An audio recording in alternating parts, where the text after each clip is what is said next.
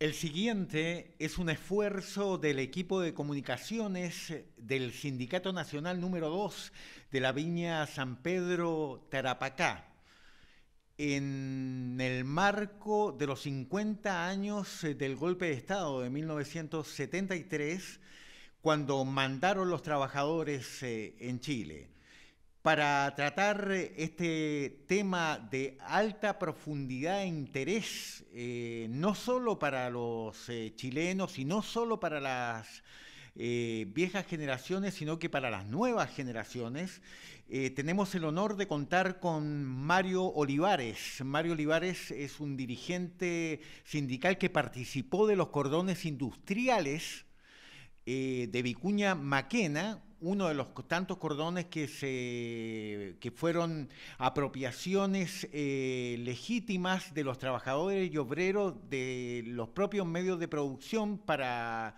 tanto para la fabricación de productos como su distribución y comercialización.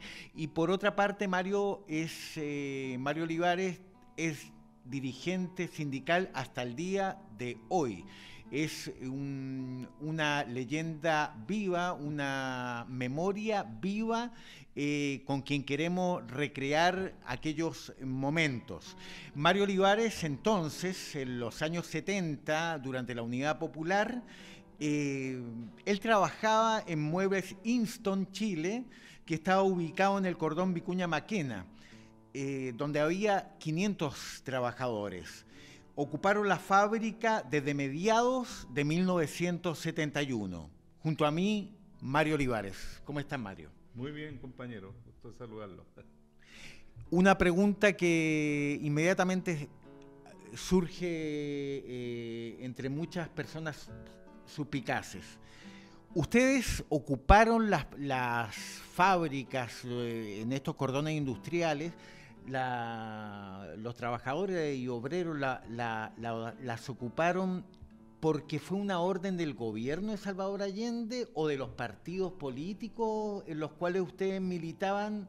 Eh, eh, ¿Cuál fue la, causa? ¿Había algo eh, detrás? ¿Había una, ¿Había una conspiración de parte del gobierno popular? Ninguna de las dos en realidad.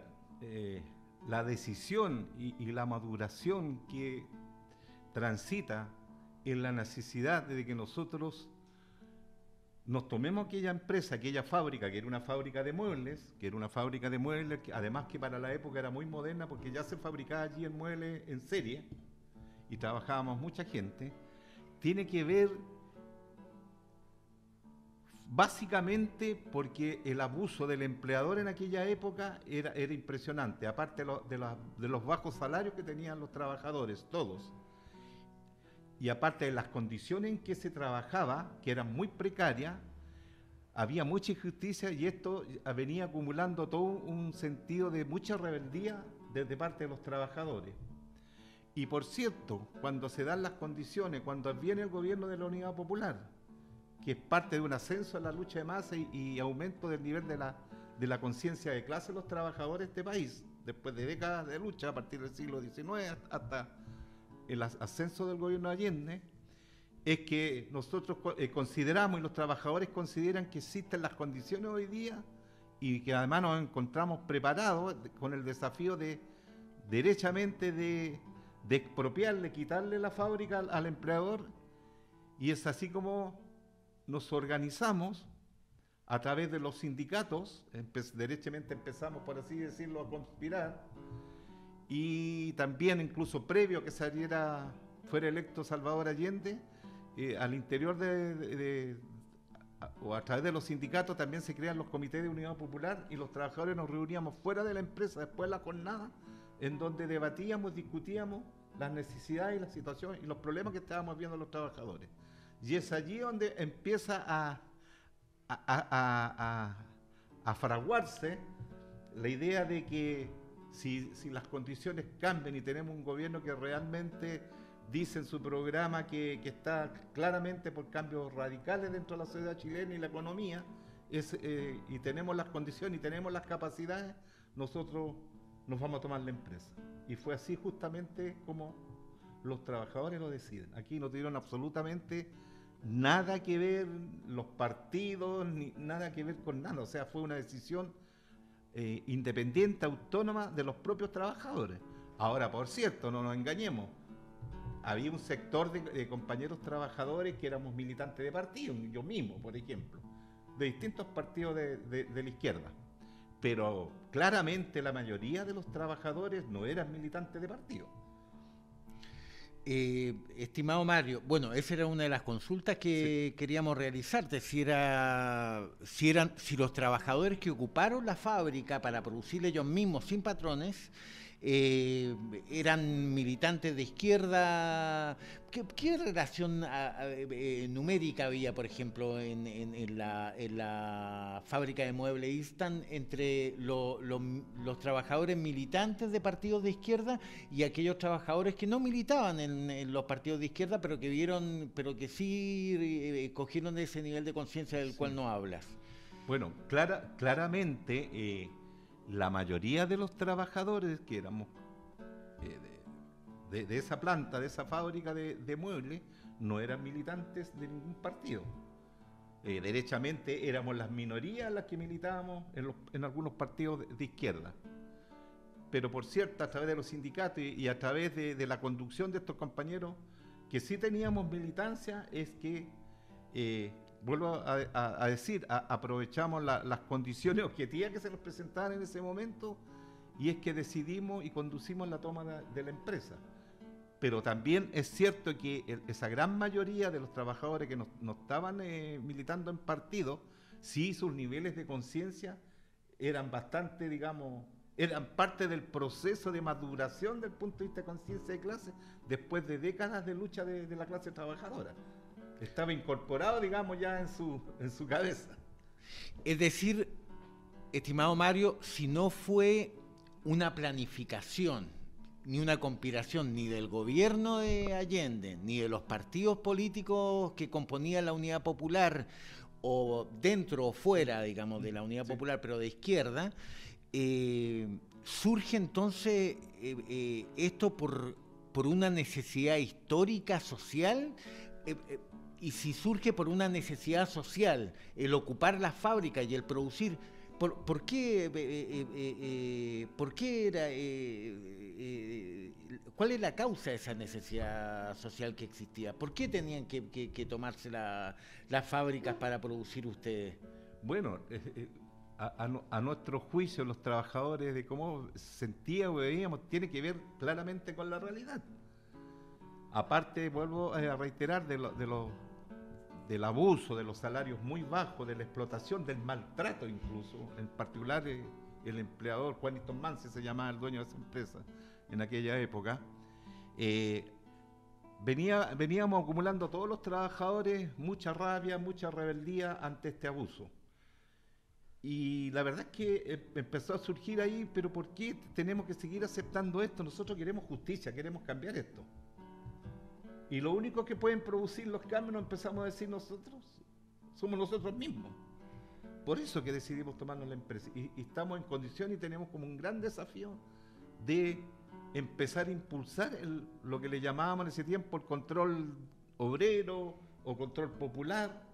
Y creíamos que teníamos las capacidades, las expertices para nosotros tomar en nuestro poder la fábrica y seguir haciéndola funcionar y ponerla al servicio de del país, digamos.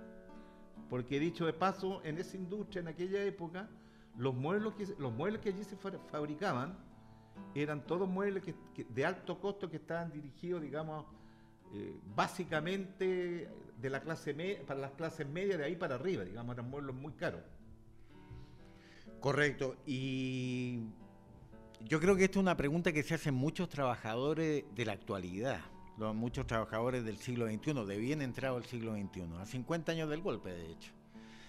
Eh, ¿Qué se siente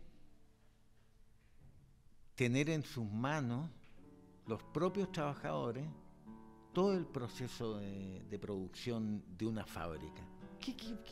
cómo es eso? Que, parece inimaginable hoy día. Eh, cuesta tanto eh, llegar a pensarlo. Es cierto lo que dices tú un pequeño paréntesis, cuando yo converso esto con mis propios hijos, y le cuento de esta experiencia que vivimos, eh, les cuesta incluso creérmelo, pero ¿cómo es posible, papá, que ustedes los trabajadores se apropiaron, se tomaron esa empresa y después la, la dirigieron, todo el proceso productivo? Hasta hoy día, a mis, como te digo, a mis propios hijos les cuesta creerlo. Pero eso fue posible, fue absolutamente posible, eh, porque sentimos una gran responsabilidad. Si no nos apropiamos de, un bien de, medio de producción, derechamente se lo, se lo, quitamos al, al patrón. Eh, bueno, ¿para, qué ¿para qué lo queremos? hay que hacerla producir y ponerla al servicio de los demás. Y es tan interesante esto, compañero, de que, que se crean distintas instancias de, dirección de la, de la, compañía. Bueno, claramente nos tomamos esta empresa y logramos y le exigimos al gobierno popular frente a toda esta, esta necesidad y, esta, todos estos abusos que, que, teníamos los trabajadores de aquella empresa, las condiciones que trabajamos, como entendíamos que era nuestro gobierno, le, exigimos al gobierno y logramos finalmente que esta empresa sea, fuese intervenida y entregada al control de nosotros los trabajadores. Pero ¿qué es lo interesante de esto? Nosotros no solamente eh, sentimos esa responsabilidad y que era a nuestro juicio de perogrullo, que era nuestra fuente de trabajo, teníamos que seguir haciéndola, dirigiéndole y produciendo, sino que empezamos a hacernos eh, preguntas que tienen que ver de mirar al conjunto de la sociedad, al conjunto de los trabajadores. Y una de las cosas que nos planteamos decía, bueno, esta fábrica hay, que hacerla producir, aquí hay que cuidar con más, que nunca eh, todos los materiales de, producción, tenemos que hacerlo bien, porque esta es nuestra fuente de, de ingreso. Pero cierto, pero vamos a, ¿por qué tenemos que, tenemos que seguir fabricando muebles eh, dirigidos a las clases medias acomodadas hacia arriba, cuando lo que nosotros tenemos una visión colectiva de la sociedad y tenemos que cambiar esa, esa matriz de, de desarrollo y, de la fábrica. Y es así como decidimos, a través de, lo, de las instancias que, que generamos al interés de la empresa, que era el comité de empresa, los comités de producción, los sindicatos, eh, y a la cabeza de todo esto estaba el interventor que había nominado el, gobierno de, Allende, que era un representante en este caso del gobierno o del Estado más claramente. Y es allí que, como te digo, en, estos debates, en estas discusiones, en, e, en este descubrir, avanzar, ¿para dónde vamos? ¿Por qué tenemos esto en nuestras manos? Es que decidimos empezar a fabricar una línea de muebles que le llamamos muebles populares, que eran muebles de buena calidad y dignos. O sea, yo te tengo que decir que cuando yo entré a esa fábrica, era muy joven, tenía entre 18 y 19 años, la pobreza era extremo. Yo, por supuesto, cuando ingresé ahí, dos, tres años antes, eh, lo primero que hice fue afiliarme al sindicato, siempre tenía un gran compromiso con la cuestión social. Y, bueno, siempre muy activo, entonces cuando recorríamos iba en, ayuda de cualquier trabajador que tenía algún problema eh, de, tipo social, de, tipo humano o de tipo económico. Yo me recuerdo perfectamente que muchas veces que visité casas eh, casas de trabajadores que vivían, por supuesto, en poblaciones muy humildes, muy pobres, campamentos, y donde los trabajadores ni siquiera tenían donde vivir. Decía, era común que durmieran en una payasa. Yo ahí aprendí, aprendí a conocer qué es lo que era una payasa. ¿Y qué es una payasa? La payasa e, es, una suerte de, por así llamarlo hoy día, de, colchón que se tira en el suelo y que se va rellenando, es como un saco grande, y que se va rellenando con una serie de, trapos viejos y, lo transformáis en una suerte de colchón. Y allí dormía la mayoría de los trabajadores. Y además hacinados. Digamos, papá, mamá, con los hijos en, en, ese famosa payasa. Y así una serie de cosas. Así ahora te vaya la. Recuerdo nítidamente que obviamente no teníamos casino antes de que nos pasara el control de nosotros. llegaba la hora de, que los trabajadores tenían que comer algo para seguir produciendo y tener la, la, fuerza necesaria, y tocaban un timbre, me acuerdo, una campana, ya no recuerdo exactamente, y los trabajadores salían a comerse lo que llevaban, o, llegaban sus esposas, sus hijos, a entregarle una marmita con la comida, y salían a comerle en la calle, sentados en la cuneta de la calle. Entonces, tú empiezas a, revisar una serie de condiciones inhumanas que, vivíamos los trabajadores, aparte del maltrato y aparte de los, de los bajos salarios. Y es por eso que, frente a eso, es que decidimos empezar a construir, como te digo, estos muebles, y que es muy interesante, es muy interesante porque nosotros empezamos a decidir qué producir, para qué producir y cómo distribuir mantuvimos, por supuesto, la, línea de muebles caros, porque eso es lo que nos generaba la, rentabilidad usando el lenguaje actual, ¿entendí? Pero lo otro lo, empezamos a construir en, masa y para mejorarle claramente la calidad de vida a los trabajadores, a los obreros principalmente. Estimado Mario, esto que parece realmente ficción hoy día, en el siglo XXI, para las condiciones, eh, para las relaciones sociales capitalistas eh, y ultraliberales que existen en, en, Chile, tras la contrarrevolución eh, chilena inicial el golpe de Estado en 1973. ¿Cómo es esto de manejar la economía los propios trabajadores? sin supervisores, sin subgerente, sin gerente, sin jefatura más arriba, siendo procesos complejos, porque siempre el argumento que, no, que, emplea eh, la patronal, eh, eh, los capitalistas, es que los trabajadores en realidad son incapaces, como son incapaces de, poder ellos solos, nosotros solos, dirigir la economía, y por tanto ellos son absolutamente necesarios porque no, digamos los trabajadores no estaríamos habilitados, somos como subseres humanos, entonces no estaríamos habilitados para poder desarrollar eh, la economía y dirigir nuestro propio destino. Interesantísima la pregunta y la verdad que responder eso. La primera lista de ella es que como suele ocurrir en, en, procesos eh, radicales de transformación de la sociedad en cualquier parte del mundo y donde irrumpe, ¿no es cierto?, la clase trabajadora, con mucho miedo de, por supuesto, los sectores de las, clases dominantes, del empresariado, del capital, ocurre un fenómeno que, y, ocurrió casi en todas partes, que hay sectores de los, de los sectores medios de la sociedad, de la pequeña burguesía que, que se llamaba en ese tiempo con ese lenguaje, que o toman el camino derechamente de la, de la reacción, de oponerse absolutamente a cualquier tipo de cambio, y hay otros que ante perderlo supuestamente todo, deciden plegarse a este alzamiento y, a esta iniciativa de la clase obrera, de los trabajadores. Y es así como en el caso particular que yo te estoy contando, de la experiencia que yo viví, yo hablo de eso, de la, que yo, la experiencia que yo viví, que hubieron eh, yo diría que casi la mayoría de los mandos medios de las jefaturas de las distintas áreas de producción se plegaron a, esta experiencia, a, la toma y fueron parte, y, bueno, y era por supuesto que había gente allí preparada técnicamente. Pero lo curioso es que, y aquí también ves tú el oportunismo a veces de la naturaleza humana, eh, desde el punto de vista social, también hubieron algunos gerentes que, eran el brazo derecho del dueño de la fábrica, Juaniston Mansi, que de la noche a la mañana aparecen vistiendo ropas de, ser de izquierda y estar con el pueblo. Se plegaron, recuerdo perfectamente, el gerente comercial, el gerente de acción y finanzas. De un día para otro aparecen como que son, que están realmente ellos, tomaron conciencia y están por los cambios. Pero espérate, para terminar,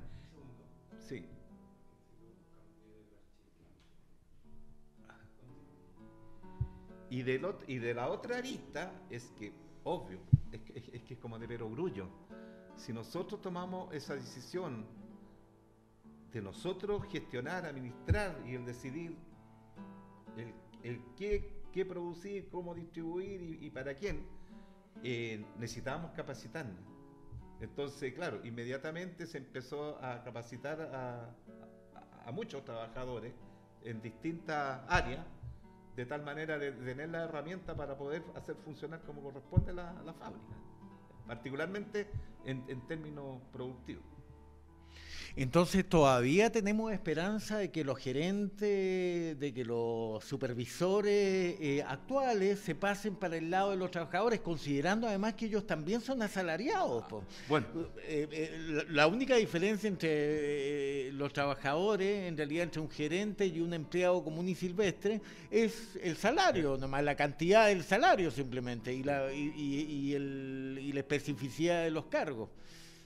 Bueno, yo estoy de acuerdo contigo que, todos los trabajadores que trabajan eh, empleados para una empresa o una fábrica, sea cual sea su, puesto, dentro de la, dirección de la empresa son asalariados, en eso estamos de acuerdo. Pero tengo mis dudas, eh, particularmente en, estos sectores medios de gente profesional, que como te digo en el caso concreto de nuestra experiencia, se plegaron, se subieron al carro de, la victoria, por así llamarlo, eh, en mi opinión, es una opinión muy personal, claro, no tengo duda que puede que alguno de ellos eh, realmente en su fuero interno sí tenían un cuestionamiento con respecto de la situación de, cómo operar el capitalismo en este país, lo que es el abuso, la explotación, etcétera. Pero también no tengo dudas de que también muchos de ellos eh, apostaron al oportunismo. Y bueno, y de hecho después la experiencia nos demostró, después de dos años, la empresa, bajo la dirección y la conducción de, los propios trabajadores, a través de estos comités de participación popular directa, eh, muchos se fueron. Correcto. les bajó el terror después. No, aquí ya esto es comunismo. Mario Olivares, eh, protagonista de la historia, protagonista de los cordones industriales. Eh, Memoria Viva, que hoy día realizó este testimonio que estamos seguros eh, será para una mayor comprensión de las nuevas generaciones de trabajadores, para los jóvenes trabajadores actuales, eh, respecto de que sí es posible que los trabajadores manden, de que sí es posible una sociedad donde los productores mismos es decir, donde la clase trabajadora, la clase obrera, de manera independiente de los capitalistas y, de su visión de mundo y de organización del mundo, pueda ser superado en algún momento. Muchas gracias, Mario.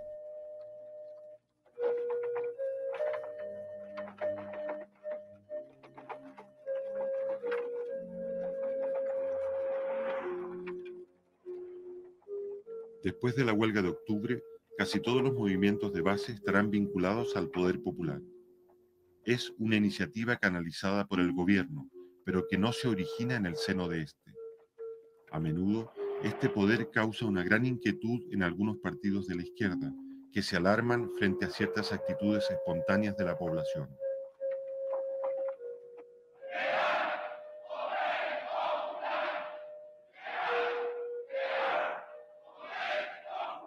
Después de octubre, el lema Crear Poder Popular continuará escuchándose en todo el país.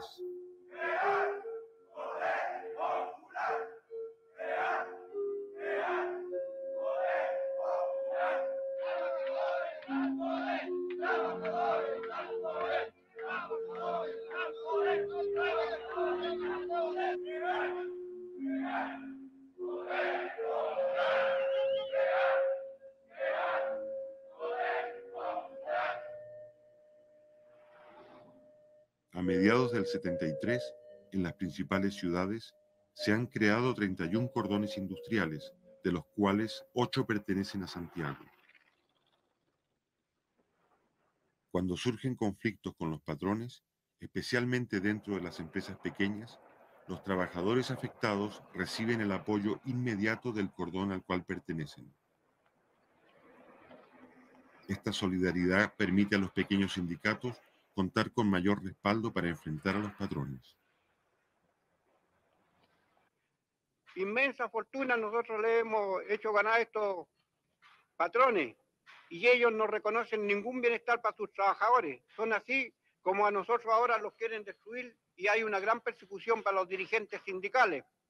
Pero los dirigentes sindicales no estamos solos, estamos apoyados por todos nuestros trabajadores y por los cordones industriales. Y los cordones industriales se extienden desde donde principia hasta donde termina Chile, así que somos poderosos. Y ellos se han pisado la huasca una vez más. Ahora estamos todos organizados, estamos conscientes y los trabajadores hemos abierto más los ojos y nos damos más cuenta de las cosas, estamos más, más instruidos y estamos apoyados, porque mientras más unidos, más potentes, más poderosos seremos nosotros, porque el enemigo que tenemos al frente, la derecha, son muy poderosos y están muy bien organizados. ¿Por qué nosotros no tenemos que estar organizados y por qué nosotros no vamos a aprovechar todo el grupo de masa que somos los trabajadores? Los trabajadores somos más y los patrones son menos. Es fácil derrotarlo, pero hay que estar organizados y unidos. ¿Qué opina los cordones industriales? Que son muy importantes porque eh, creo que es realmente el verdadero poder de las comunas organizadas. Y, creo que todos debemos tener muy en claro la importancia que tienen los cordones industriales y cómo debemos trabajar por su apoyo y por su organización. ¿Usted cree que son un organismo paralelo al gobierno o que trabaja junto con el gobierno o paralelo al gobierno? ¿Qué opina usted de eso? Porque se ha tenido mucho temor frente a los cordones industriales. Sí, realmente nosotros hemos podido palpar ese temor porque lo hemos visto que servicios de utilidad pública tienen como verdadero terror en que la comunidad esté participando. ¿Usted no ve ningún peligro en que haya cordones industriales? Por supuesto que no, porque en todo siempre yo creo, yo tengo confianza en la inteligencia del pueblo, entonces el pueblo organizado es inteligente. Entonces, ¿cuál puede ser el temor al organismo del pueblo?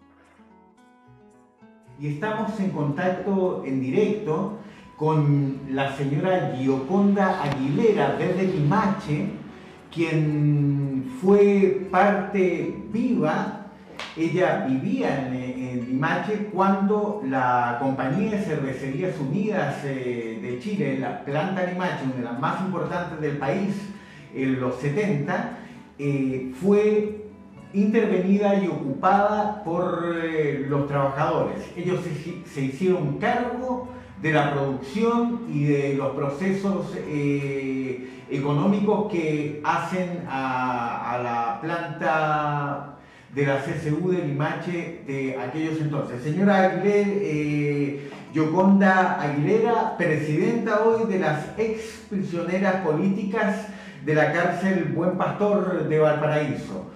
¿Cómo está usted? Muy bien, gracias. Nos gustaría consultarle, señora Gioconda, cuáles son los recuerdos que tiene respecto eh, de aquella época cuando los trabajadores mandaron en la CCU de Limache, la planta de CCU de Limache, cuando los trabajadores eh, tuvieron el control de la fábrica y fueron ellos mismos quienes eh, se encargaron de producir eh, los productos propios de, la CCU. Bueno, la compañía Cervecerías Unidas de Limache fue intervenida y pasó al área, al área social en agosto de 1972.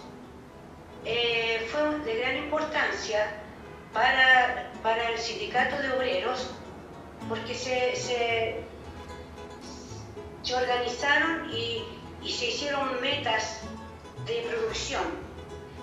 Si, se decían una meta y se hacían eh, turnos y la, y la fábrica llegó incluso a funcionar de día y de noche por turnos para llegar a las metas que se, que se proponía el sindicato de obreros. Eh, Señora, señora Yoconda, eh, eh, es decir que bajo, bajo la dirección de los trabajadores, la, planta de CSU Limache durante el gobierno de la Unidad Popular, podríamos decir que produjo más, creció más en, producción que, que cuando estaba en manos privadas. La, la producción eh, eh, compañía cervecería de Limache se aumentó porque los eh, trabajadores eh, organizados, ellos se proponían metas, metas de producción.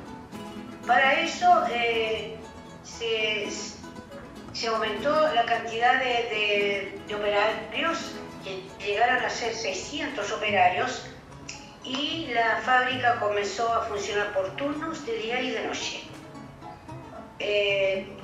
Eso es lo que puedo decir en cuanto a la producción y, a la organización del barrio de la cervecería. Sí, dígame. Señora Yuconda, la comunidad, ¿cómo eh, observaba este, esta situación que era totalmente novedosa, que, los trabajadores controlaran la producción de la CCU? de, la planta CCU de Limache. ¿Cómo lo observaba la comunidad? ¿Cómo, cómo impactó la comunidad? Bueno, eh, aquí en Limache eh, la, la, industria tenía, eh, tiene su, todavía existe, la población de obreros, que es la población amarilla. Después estaba toda la, al costado había, estaba el, el casino, después estaban eh, las casas donde estaban los, digamos, los mandamases, y después había atrás, eh, había de la cervecería, había, eh, estaban los empleados particulares viviendo en, departamentos y también casitas chicas para los obreros. Había, era, como, era como una ciudad dentro de la ciudad. por lo tanto, la organización era, era no solamente de los, de los, de los obreros, las mujeres estaban, eh, estábamos organizadas, los jóvenes estaban organizados, los niños estaban organizados, era todo, como te digo, una ciudad dentro de la ciudad. Eh, eso, eso era lo que, lo, que se vivía dentro. Nosotros vivíamos eh, en, en felicidad, digamos. Teníamos mucho que hacer, había que hacer trabajo voluntario también, eh, y los obreros eh, organizaban sus fiestas de, Navidad, de Año Nuevo, de 18 de septiembre. Eh, sí, e, e, era hermoso, era hermoso. Señora Gioconda, y llegó el 11 de septiembre de 1973. ¿Qué ocurrió en la planta de CCU de Limache? Bueno, eh, la, Marina, la Marina llegó a, la planta el 12, el 12 de septiembre. Cuando en ese entonces mi padre ya no trabajaba en, en Limache, trabajaba en, la, en la gerencia de Valparaíso, en la oficina de la gerencia de Valparaíso como interventor pero estaban, estaban en casa y él se fue a presentar a la fábrica como lo hicieron los obreros y como lo hicieron el, interventor y, todos los, de planta de, de, la, cervecería. ¿no? Se fueron a presentar y ahí fueron, eh, fueron ¿cómo se llama?, detenidos, ¿no? todos al suelo y, después lo comenzaron a, a en, camiones, uno para un lado, otro para el otro lado, yo qué sé. Eh, eso fue lo que pasó, eh, se llevaron a gran cantidad, gran cantidad de operarios, de, tanto, tanto, tanto particulares como obreros de, la cervecería. Eh, la, represión fue muy, muy dura. Fue como una suerte de, asalto de, la Armada a la fábrica, como si, como si los obreros de la fábrica estuvieran preparados para para resistir, para una suerte de resistencia armada? sí, sí. ellos llegaron como, como, como que venían a la guerra, todos pintados, así, todos con, eh, con camuflaje y esas cosas, ¿no? Y en la fábrica no pasaba nada, todo el mundo vino y dice, bueno, hay golpe de Estado, que presentarse y se presentaron. Sindicato Nacional de trabajadoras y trabajadores de Viña San Pedro Tarapacá. Muchas gracias por habernos acompañado.